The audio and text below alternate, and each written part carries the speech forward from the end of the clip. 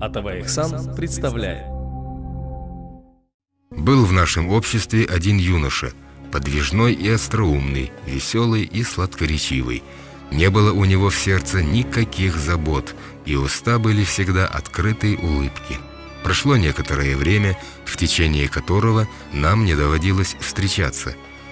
А потом, когда я увидел его, он был женат, и народились у него дети, корень его веселья был подрублен, а роза его страсти увяла.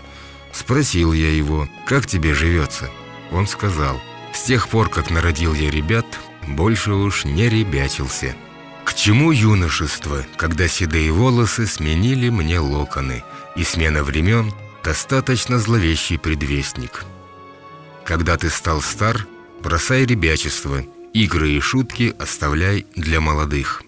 Юношеской радости не ищи в старике, ибо утекшая вода больше не возвращается в русло.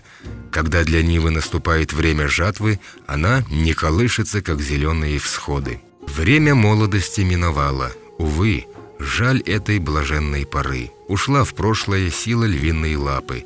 Довольствуюсь теперь я сыром, словно охотничья собака.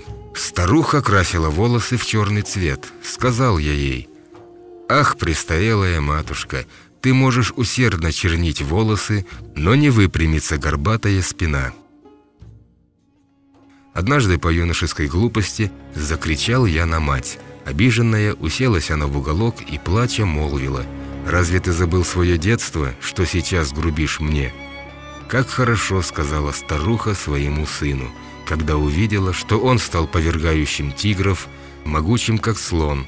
«Если бы ты помнил свое детство, когда ты был беспомощным в моих объятиях, ты не стал бы обижать меня в сей день, когда ты стал мужчиной, сильным, как лев, а я старухой».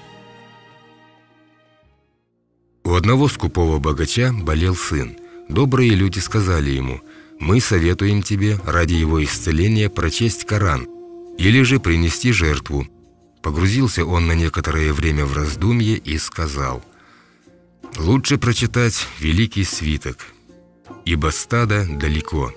Один благочестивый человек, услышав это, воскликнул. Он отдал предпочтение чтению Корана потому, что Коран находится на кончике языка, а золото в сердцевине души. О, как было бы жаль им склонять голову для богослужения, если бы вместе с тем нужно было оказать кому-нибудь помощь.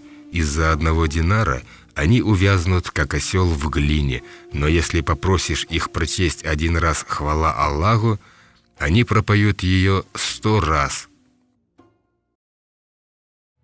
Не забудьте подписаться на канал. А также, чтобы быть в курсе новых публикаций, нажмите на колокольчик. Мир, милость и благословение Аллаха всем нам.